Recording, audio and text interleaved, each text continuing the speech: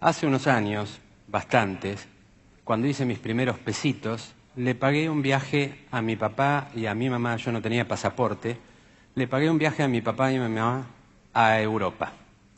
Un día me llama mi papá y me da las gracias por teléfono y me dice una serie de cosas. Al día siguiente me llama mi mamá, llorando.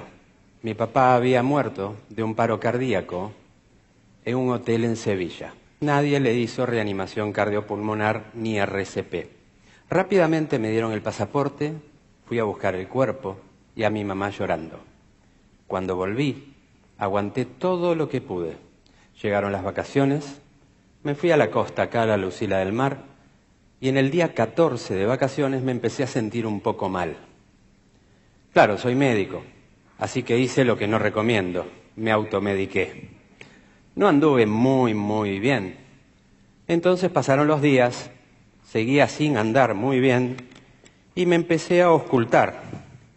Me puse el estetoscopio, dije, diga 33, empecé a revisar un lado del pulmón, el otro, y la verdad que como médico no tengo la tranquilidad de la ignorancia y me diagnostiqué un derrame pleural.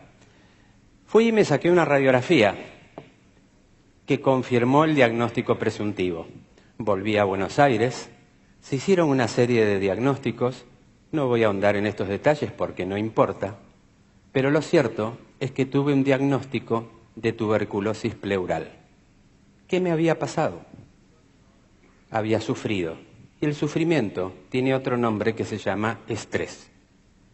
El estrés tiene alarma, resistencia y agotamiento aguanté todo lo que tenía que aguantar, hasta el momento en que no aguanté más, me fui de vacaciones, me relajé y ahí usted puede tener un infarto, un accidente cerebrovascular, una convulsión, inmunodepresión, como en mi caso, y alguna infección.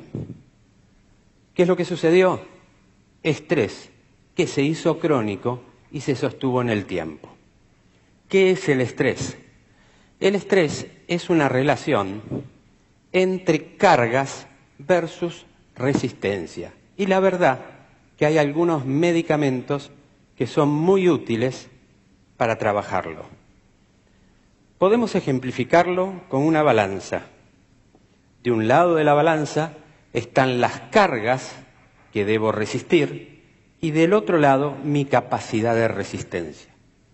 Cuando las cargas superan mi capacidad de resistencia, aparecen síntomas. Síntomas que me hacen sentir, que hacen entender, que mi cuerpo me envían en términos de información. Esas cargas son, en definitiva, como un camión que lleva cargas habitualmente, como si fuera este, que puede llevar una, otra, y otra carga, trabajo, familia, temas existenciales, dudas, presiones externas, la sociedad, los piquetes o lo que quieran de afuera, pero sobre todo lo que está dentro de uno. Esas cargas van superando nuestra capacidad de resistencia hasta un día que la superan, entonces la carga supera esa resistencia y el fiel de la balanza se inclina hacia el lado del estrés, apareciendo entonces signos y síntomas. ¿Qué es un síntoma? Un síntoma es un dolor de cabeza, fiebre, dolor de estómago, falta de aire, nerviosismo, insomnio, cualquiera crean ustedes que es, puede ser un síntoma. Pero para nosotros, quienes trabajamos en esto, un síntoma no es un síntoma, un síntoma es información. Cuando vos venís al consultorio y me decís tus síntomas, yo no lo siento. Empatizo, pero no lo siento. Pero para mí es información y hago diagnóstico. Y la verdad es que el médico que tenemos más cerca somos nosotros mismos. Por eso debemos escuchar los mensajes del cuerpo. La primera etapa del estrés, después que consideremos que todo síntoma, y me gustaría llevarlo hoy de acá, cuando les duele la cabeza, sepan que duele la cabeza, cuando tienen acidez de estómago, tienen acidez de estómago, cuando tienen dolor de espalda, tienen dolor de espalda. Pero aparte de tener esas tres cosas, tienen información que el cuerpo les está enviando para que sepan que algo sucede. El estrés comienza con la percepción. La realidad no existe sino desde nuestros propios procesos mentales. Es decir, la realidad es lo que yo creo que es. Y eso se llama percepción, que no es la realidad, sino mi interpretación de la realidad. Cuando percibo una situación estresante, cuando creo que algo me empieza a estresar, lo primero que va a suceder es que cambio de conductas y cambio de hábitos.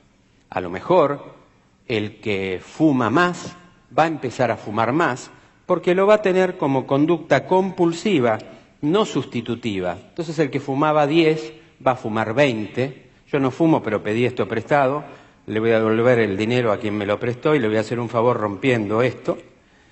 Lo cierto es, es más, me dieron dos, lo voy a hacer con un segundo. Sé que aumentaron, pero se los voy a pagar. Pero eso puede pasar con, como conducta compulsiva no sustitutiva y el que come puede comer más. El que se droga se puede drogar más. El que toma vino alcohol o lo que sea puede tomar más como conducta compulsiva no sustitutiva y estamos entonces en esa segunda etapa del síndrome del estrés. Primero percepción, después cambios de conductas y hábitos y si no compensé mi situación de estrés, voy a manifestar síntomas. Cada uno de nosotros tiene síntomas distintos. Algunos será dolor de cabeza, otros miedo, otro insomnio, otros dolores musculares, otro alteración en la concentración, juicio, memoria, otros acidez gástrica, cualquier síntoma, lo que pasa que cada uno de nosotros en general tenemos uno o dos síntomas. El síntoma que a lo mejor era palpitaciones, si no compenso el estrés, va a terminar siendo enfermedad. Esto es lo que vemos en ese gráfico que es la cadena del estrés. Percepción, después si no lo compenso, conductas y hábitos, fumar más, rascarme más la nariz, si tengo mal carácter me pondré peor, y así sucesivamente hasta que aparece un síntoma, acidez gástrica, insomnio, el que quieran ustedes, alteraciones del ciclo ovárico, el que quieran. Y después de esos síntomas, si no compenso el estrés, llego a una situación de enfermedad. En definitiva, el estrés es una relación entre cargas y respuesta. Es la mochila que llevo. Un mochilero lleva una mochila adecuadamente y tiene su día normal. Pueden pasar dos cosas. Que un día la mochila sea muy pesada o puede pasar que un día, con el mismo peso de la mochila, él pierda fuerza, porque es más grande, por lo que fuera, o ambas cosas al mismo tiempo, y el peso de la mochila supera la capacidad de resistencia, aparecen los síntomas de estrés y se condiciona la posibilidad de padecer una enfermedad. Pero lo primero que sucede en el caso del estrés es que no somos felices. Lo primero que sucede en el estrés es que la persona no es feliz. ¿Cómo se aborda el tratamiento del estrés? Hay muchas cosas para hablar. Como dice ahí, hay un aspecto médico, hay diagnóstico, hay moléculas, hay sustancias, hay tratamientos, hay cosas para hacer. También hay cuestiones conductuales, psicológicas, cognitivas, también hay cosas para hacer. Y también, quizás, la frontera final del manejo del estrés es la filosofía con la cual abordamos la vida, abordamos nuestros proyectos, abordamos nuestra realidad vamos a nombrar una herramienta de manejo del estrés de las tantas que hay, que se llama meditación. Meditar es un proceso normal. Meditar no es algo esotérico, extraño o religioso, aunque el proceso psicobiológico de la meditación pueda tener trascendencia espiritual. La meditación es un proceso biológico. Ya en el año 1800, Joseph Gall desarrolló una pseudociencia que se llamaba frenología, en la cual decía que distintas partes de la cabeza tenía distintas funciones. La cuestión es que no fue exactamente como los frenólogos decían, pero hoy sabemos ciertamente que el cerebro tiene áreas que se especializan en determinadas funciones. Y tenemos dos hemisferios, el derecho y el izquierdo.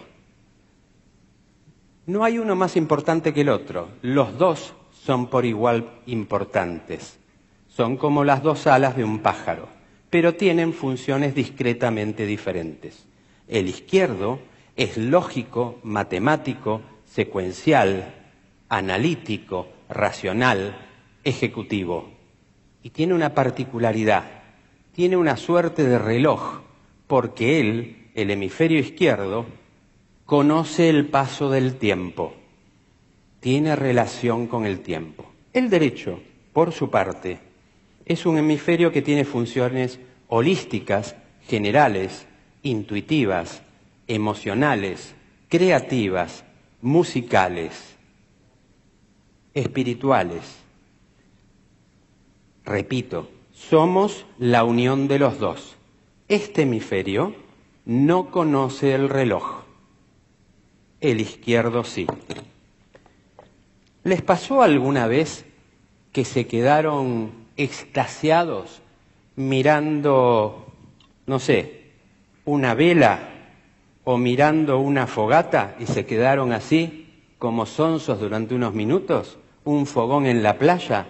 y como que el tiempo no pasó, ¿les pasó? Nos pasó a todos, que nos quedamos así como sonsos mirando el fuego.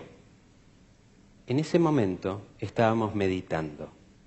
El hemisferio izquierdo, racional, matemático, siempre mete pensamientos intrusivos. Meditar es setear la atención del hemisferio izquierdo en un objeto focal. Cuando eso sucede y mi hemisferio izquierdo se concentra, mi hemisferio derecho, que no tiene reloj, entra en una situación de éxtasis que se denomina meditación, donde bajan las sustancias tóxicas en sangre y esto científicamente está medido. ¿Cuál puede ser este objeto? Una vela el fuego, puede ser una rueda ceremonial tibetana, puede ser un mandala tibetano, puede ser las cuentas del rosario, independientemente de la existencia de Dios o no, pero la secuencia repetitiva del rosario es un hecho que hace que el hemisferio izquierdo se concentre en ese punto y el derecho trabaje libremente. Eso se denomina meditar y es sumamente beneficioso. Los voy a invitar a hacer una sublingual, como si fuera un ansiolítico sublingual de meditación si es que tienen ganas. Nos va a llevar un minuto. Pónganse incómodos, apoyen los pies sobre el piso, lo más cómodo posible, Cierren los ojos por un instante y vayan siguiendo mentalmente mi voz. Respiren lentamente por la nariz, no usen la boca. Inspiren hondo, profundamente, llevando el aire a una respiración abdominal, la respiración del bebé, hinchando la panza. El aire ingresa y el aire sale. El aire ingresa y el aire sale. Cada uno lo hace a su ritmo, a su tiempo, lo disfruta y se concentra en ese proceso respiratorio.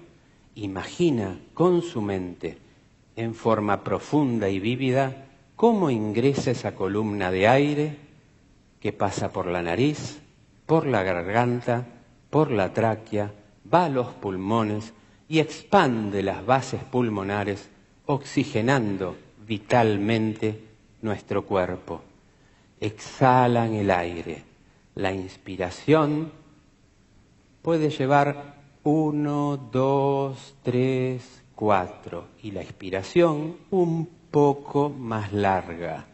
Y lo volvemos a hacer una vez, lo volvemos a hacer otra vez y en la medida que nuestra mente esté concentrada en ese proceso respiratorio de inspiración y expiración, nuestro cerebro, el hemisferio izquierdo, se estará concentrando en él, permitiendo paz, serenidad y armonía. Ahora, a nuestro propio tiempo, deseo y voluntad, vamos a volver muy lentamente al aquí y a la hora. Cuando lo crean conveniente, pueden ir abriendo los ojos y se conectan con este momento. Esto es meditar y esto da paz, serenidad y da calma. La verdad es que la meditación es un proceso biológico concreto que entre otras cosas permite tratar el síndrome del estrés. Es un excelente medicamento, no tiene efectos adversos y no se compra en farmacias. Gracias.